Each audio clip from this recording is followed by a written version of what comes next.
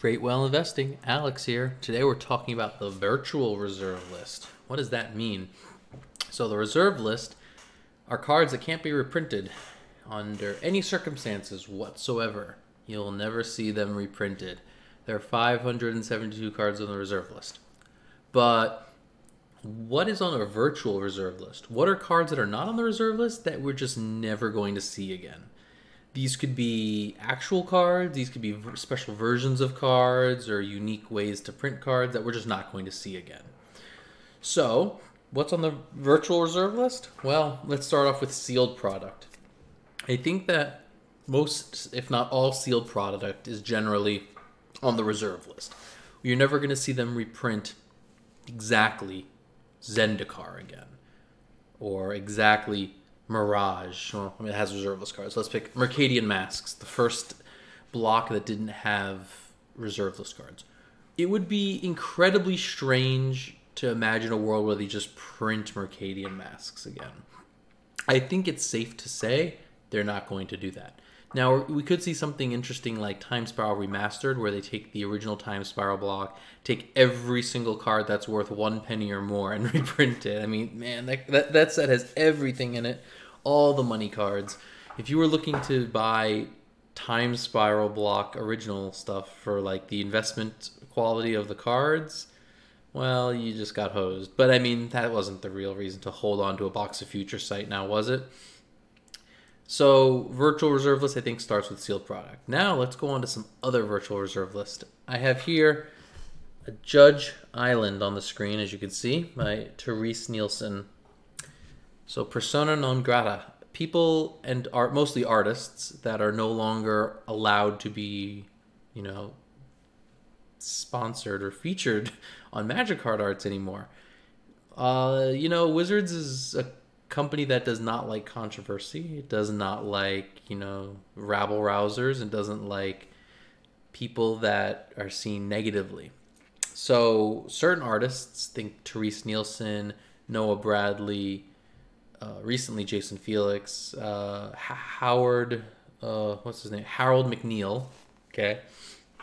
These artists are certainly ones that are controversial to the point where they will not print magic cards with them on them anymore. Doesn't mean that we couldn't see another Judge promo basic land in the future, but we're not going to see this island illustrated by Terese Nielsen.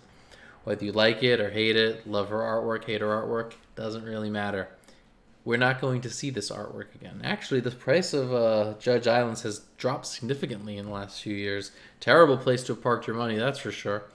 So, yeah, I think this is something that I would call the virtual reserve list. You know, the original art for Approach of the Second Sun by Noah Bradley, or his basic lands, or uh, these Judge lands, or Guru lands by Terese Nielsen. You're just not going to see them again. So, yeah, that's that one is more uh, version specific.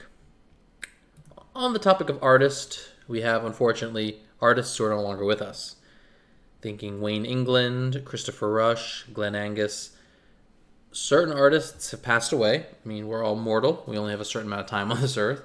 And signatures, signatures on a card are something that is virtual reserve list. You won't get anymore.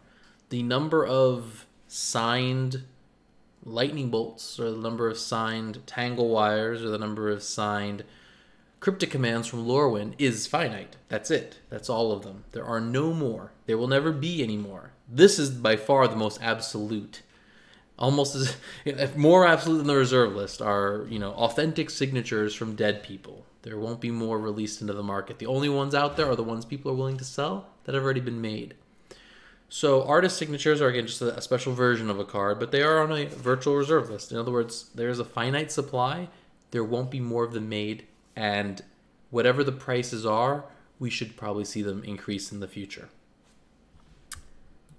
Next, we have controversial cards, okay?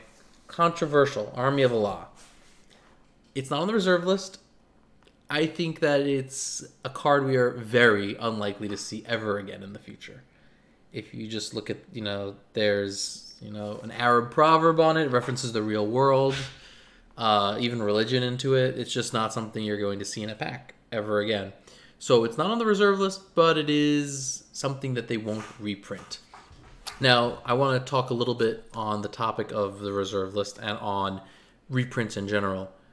Anything that is not on the reserve list, virtual reserve list, can technically be reprinted. I think most people were shocked when here I have it open already. Double Masters introduced these unhinged lands, destroying the value that these had at one point. It's very strange. I, I, I personally never predicted them that they would reprint unhinged lands like the full border. Yeah, they changed the frame a little bit. Yeah, they changed the set symbol, but I mean, it's it's honestly just pretty scary nothing is sacred, as they say. I think that uh, we are going to see a lot of this type of this method of reprint, something that is at one point desirable. They got their money out of it, they extracted the value, and then they will continue to find ways to make more money off of it. With cutting corners, you know, reprinting these, I think was kind of just like a rushed thing. But I don't think it's the last time we'll see something like this. So something that you think might not be reprinted could very well be reprinted. I remember when I bought my Judge Elesh Norn, I remember paying like five hundred dollars or something crazy for it, and then they just printed a new wave of them, and they went down to like two hundred. Now it's back up higher up there in the four or five hundred range, but at the time I remember them being released, and I was just floored. I was like, "Whoa, they can just do another wave. They can just make more." And it was you know one of those like eye openers. Like, yeah, the supply can just go up. So you know there are a lot of cards that you might think are safe from being reprinted, but if they're not on the reserve list, they are not safe from being reprinted. Um, aside from the artist signatures here, um, anything else is technically fair game. I made this video today because I wanted to show cards that I think are unlikely to see print, and I think you need to look at extreme examples such as the artist being shunned publicly, the content being very disturbing or very controversial or somebody's dead.